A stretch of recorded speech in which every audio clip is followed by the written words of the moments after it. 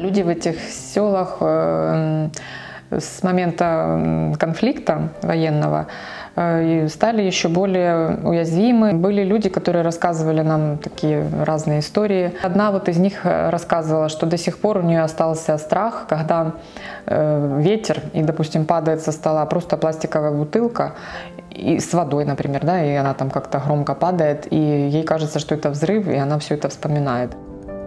Психическое здоровье было у всех нарушено, естественно. Начиная с 2014 года, когда, можно сказать, все остановилось, как бы, жизнь остановилась, началась война, нас отрезали от нашего центра, и мы остались один на один с пациентами.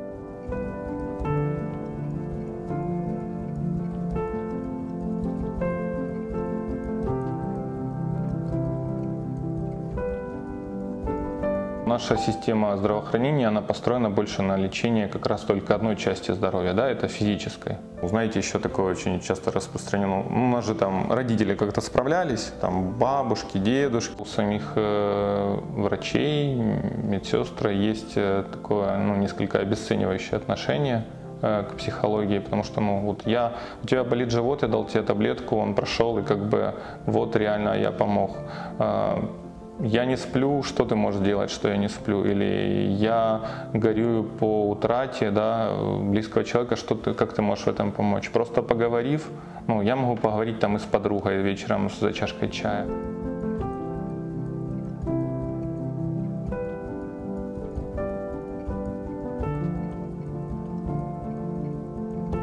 У нас работает психолог, и у нее всегда есть люди, всегда есть люди. Вот если бы этого не было, человек вряд ли бы поехал бы в Мариуполь, вряд ли к психологу, причем платному и так далее. А у нас тут все бесплатно, у нас очень в средствах ограничены все, то есть социально незащищенное население наше. И для них очень важно получить эту помощь бесплатно.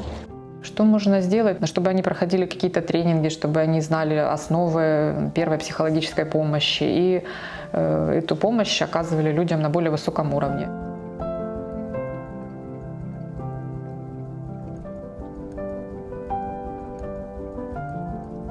После того, как с медсестрой прошли вот эти курсы, мы стали, конечно же, вооружены больше. Так мы на интуиции работали, на каком-то чутье.